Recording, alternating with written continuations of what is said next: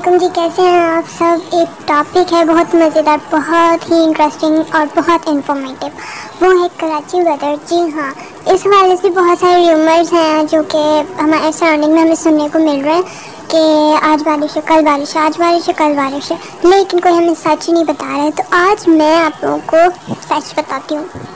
सच बताने से पहले मैं चाहती हूँ कि आप लोग इस वीडियो को लाइक करें फैमिली फ्रेंड्स के साथ शेयर करें लोग, लोगों तक सच बात पहुँच सके और मेरे चैनल को सब्सक्राइब करें मजीद अच्छी अच्छी और सच्ची वीडियोस के लिए। जी हाँ तो सच ये है कि कराची में बारिश तब होगी जब अल्लाह चाहेगा।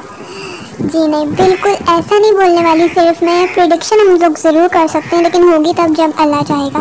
तो प्रिडिक्शन क्या है, वो मैं आपको बताती हूँ तो आज का टॉपिक बहुत ही इंटरेस्टिंग और इन्फॉर्मेटिव है। जैसे कि आप सबको पता है कराची में मानसून का आगाज़ होने वाला है, लेकिन कब ये बात मैं आपको बताती हूँ। कराची में मानसून का आगाज़ होने वाला है, लेकिन इस दफ़ा मानसून को थोड़ा बहुत खतरनाक कहा जा रहा है। इसके लिए अलर्ट भी जारी कर दिए गए हैं। और कराची में इस गर्मी की शिदत बहुत ज़्यादा है और नमी भी बहुत ज़्यादा है। तो कराची में मानसून पहली तारीख से दाखिल होगा। जी हाँ जैसे कि रात में हल्की हल्की बारिश होती भी है तो फ़र्स्ट ऑफ़ जुलाई से कराची में मानसून दाखिल हो जाएगा। यानी कि आज से। और तीन से पाँच जुलाई में ऐसे स्पेल आएगा बारिश का, जिससे मौसम जो गर्मी का है, वो बिल्कुल तब्दील हो जाएगा और मौसम ठंडा हो जाएगा।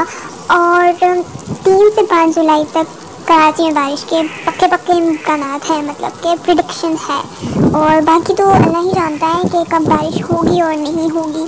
तो ये बात बिल्कुल मैंने आपको सही से ही बताई है और अगर आप लोगों को पसंद आई वीडियो तो इसे ज़रूर लाइक कीजिएगा। आप लोग शेयर कीजिएगा और चैनल को सब्सक्राइब ज़रूर कर लीजिएगा।